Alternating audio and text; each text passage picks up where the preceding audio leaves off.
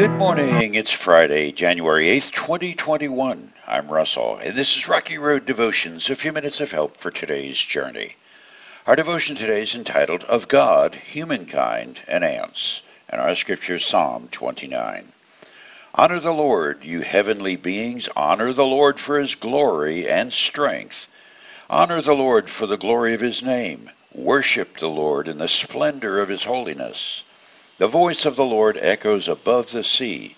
The God of glory thunders. The Lord thunders over the mighty sea. The voice of the Lord is powerful. The voice of the Lord is majestic. The voice of the Lord splits the mighty cedars. The Lord shatters the cedars of Lebanon. He makes Lebanon's mountains skip like a calf. He makes Mount Hermon leap like a young wild ox. The voice of the Lord strikes with bolts of lightning. The voice of the Lord makes the barren wilderness quake. The Lord shakes the wilderness of Kadesh. The voice of the Lord twists mighty oaks and strips the forests bare. In his temple everyone shouts, Glory! The Lord rules over the floodwaters. The Lord reigns as king forever. The Lord gives his people strength. The Lord blesses them with peace. I'm a good bit larger than an ant.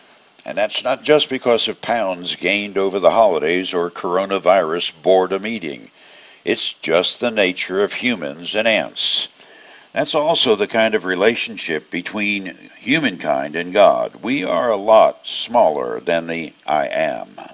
It's easy enough for a human to crush an ant without much effort. After all, at my post-holiday length, girth, and mass, it would take around 45,000 ants to equal the space I take up on this planet.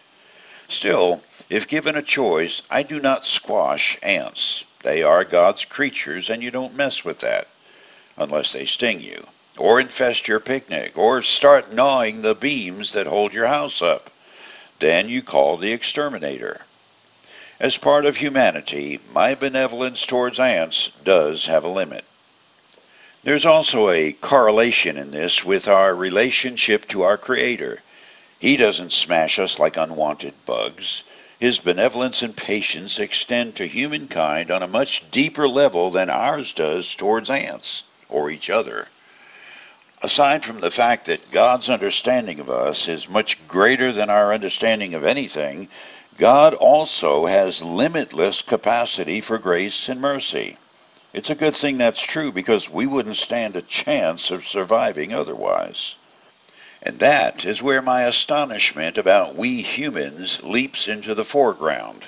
I'm amazed at how lightly humankind presumes upon God's grace and mercy by treading on His holiness. It's almost like an ant invading the picnic and staring the human in the face and saying, Hey, I'm taking that slice of gooey German chocolate cake, buddy, and what are you going to do about it? I can tell you, an ant with an attitude like that would be a stain on the checkered tablecloth in a heartbeat. The psalmist tells us our attitude towards God should be that of honor and worship. That's a far cry from the reality of today's world. There are so many who deny even the existence of God, let alone his preeminence. Many acknowledge God's existence, but their lack of honor and worship disdains his rightful place in our lives. For too many humans, worship is reduced to a ritualistic nod of acquiescence to custom or simply doing what one must to cover the bases, just in case God might notice their naughtiness and take away their toys. We humans can be arrogant and petulant enough to make nursery school children look like Harvard scholars. We seem to be as thankless to our Creator as ants raiding the picnic. Unfortunately, it's always been thus. The first thing Adam did upon hearing there was nothing forbidden him except that one tree in the middle of the garden was to hunt up a ladder to pick the highest cherry on the limb. Our first parents literally ate themselves right out of house and home. There's nothing like forbidden fruit to ensure we humans will make another stupid choice. To the point for today's psalm.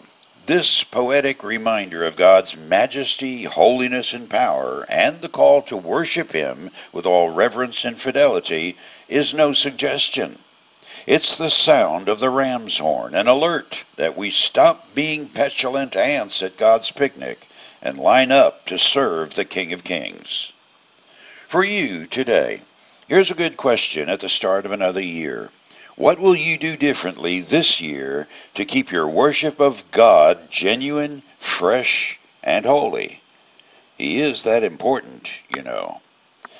You chew on that as you hit the rocky road. Have a blessed day.